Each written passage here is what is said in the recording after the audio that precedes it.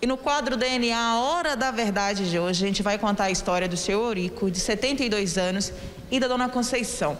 Eles foram casados por 12 anos e têm dois filhos.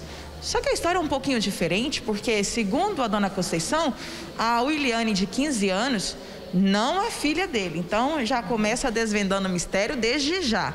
Só que, mesmo assim, o senhor quer o DNA, seu Eurico? Eu, para mim, é minha filha. Aí então depois surgiu, a menina nasceu, depois as colegas dela ela falou assim, pode registrar a menina, que é sua filha. Aí pela minha idade peguei registrei a menina. Maior carinho para aquela menina ali. Ela não é filha minha, a mãe é obrigada a caçar o pai que ela minha... tem que ter um pai. É, tem que ter um pai. Eu quero que minha filha esteja um pai. Dona Conceição tem 45 anos. Me conta essa história. A senhora está falando que não é e mesmo assim ele quer o DNA. Eu estava grávida de três meses, quase três meses. Eu não menti para ele. Ele entrou na minha vida sabendo. Até, até então, a verdade, ele, a menina não sabia que ele era o pai.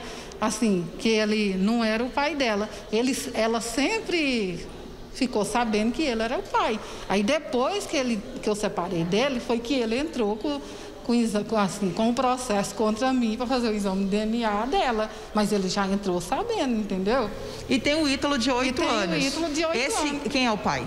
É ele. Esse é o uhum. seu Eurico. De verdade. Esse uhum. não tem dúvida. Não tenho dúvida. Uhum. Mas mesmo assim ele quer o DNA. Mesmo assim ele quer o DNA, mas eu faço com o maior prazer.